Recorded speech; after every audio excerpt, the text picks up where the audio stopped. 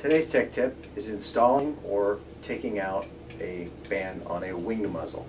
To take a band out, simply pull the band, get to the wire wishbone section, and it comes right out. Again, pull it to the wire wishbone section, and it slides out. Don't use a screwdriver or you bust the wings off of it. So, to load it, it's the same principle, basically. Wire through, pull, wrap, wire through again, pull, and wrap.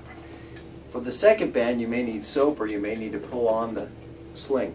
If so, just get some soap or pull on the sling. Again, wire, sling, wire, and sling, and you're set to go.